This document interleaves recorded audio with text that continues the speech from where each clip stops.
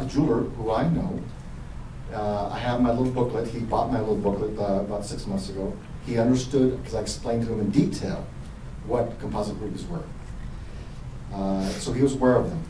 But last month, he, a man came into a store, a good client, and had an $8,000 men's ruby diamond ring that he needed sized that same day he was flying back east. He was in Phoenix, Arizona. He was flying back to Illinois or something. And asked Jerry if he could size his men's ring same day and pick it up later that day. Jerry said, fine. Jerry sized the ring and in the pickle it went. Uh-oh. Okay? This is the result. A 20.65 carat composite ruby. The man claimed he paid $7,000 last year for this ring.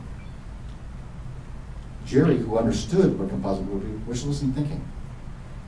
There's a communication problem here with stores. They, they don't realize the tremendous liability they have. Fortunately, this client was very nice, had a good relationship with the store owner, the the jeweler who damaged it. And he, the, the client called me also, Jerry gave him my number. I explained what happened, the client's very nice, Jerry taking care of replacing the ruby. And we're doing some experiments around replacing this ruby, took it out of the mounting. And actually, the ruby, no, this is not cost effective, but the ruby's currently in Thailand, trying to be retreated, just out of curiosity. But the, the, the ruby's gonna be replaced and put back in the Mesmer. So that's why this is an important issue. Here is 13 carats of composite ruby, 87 points up to 3 carats.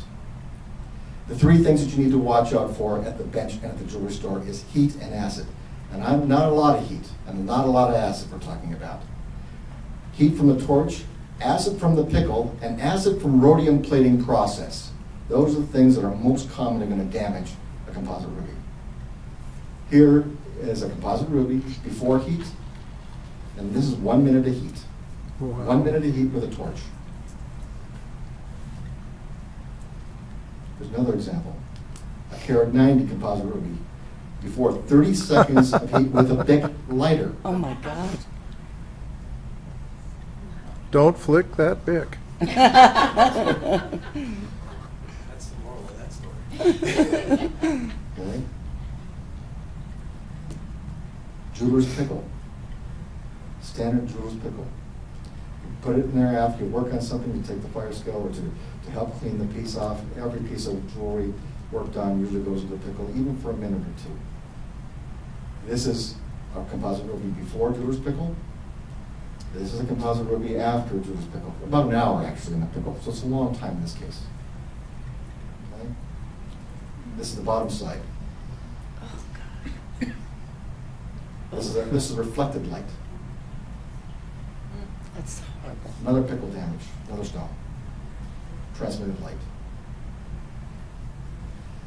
This, who can, who, Gary, tell us the process, when you go to an electroplate or, or rhodium plate, a ring that's white gold, you put it in an acid wash first, is that correct? Either acid or a cyanide wash takes off all of the uh, organic material, so you can actually rhodium plate, it'll stick to the metal then. Okay. Usually the solution is used as an acid base. And Then it goes into a rhodium bath, where it's electroplated, and that bath happens to be an acid also. This is uh, one minute uh, in, from before, this is beforehand, uh, before the acid wash and rhodium plating solution, this is one minute. You don't have to be careless. You don't have to be really very careful. You can't be careful enough. And pulling it out of the mounting, when it's that much glass, that might be a good idea, but try resetting it. You want to reset something that's fifty percent glass? See, see the problem it becomes?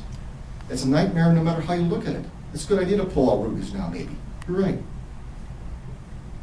But it's a problem because you may damage it putting it back in. How do you clean it up?